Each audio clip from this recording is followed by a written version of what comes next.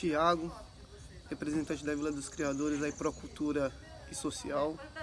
É importante aí essa campanha que o Elo está fazendo aí junto às famílias para poder atender as dificuldades. Muita gente aí que precisava do trabalho autônomo está desempregado. Então é importante essa cesta tá chegando. A na favela já é difícil. A gente já tem uma superpopulação, a população é densa. E ficar em casa para o autônomo é ficar sem dinheiro para comer.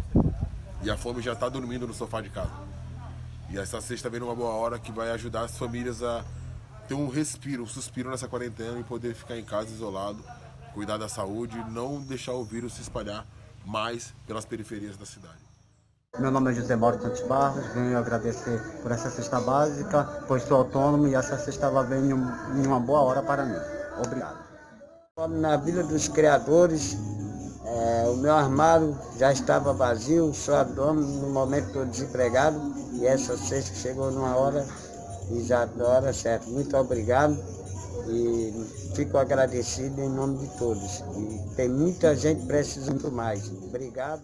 José Edson, moro aqui na Lemoa. eu agradeço tudo que você mandaram. E, ó, obrigado, Deus abençoe. Meu nome é Simone, sou de Chapadinho. Agradeço a sua cesta abençoada, chegou numa boa hora. Agradeço essa alma boa que está fazendo isso pela classe humilde que nem a minha.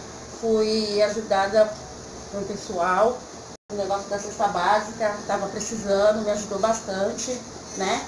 Veio bastante coisa, ó, antimédico, material de higiene, e tem um cartãozinho também que eles dão também, que tem 80 reais, né? Que dá para comprar mistura. A minha filha já foi, na mesma hora já foi lá, ó, já foi na SAI, já comprou mistura já, entendeu? Com meus filhos que a gente estava precisando, né? Me ajudou bastante. Entendeu? Então é pessoal que a gente pode confiar, porque tem pessoas que falam que ajuda, né? E no final não ajuda nada. Mas esses daí eu vou falar pra você, viu?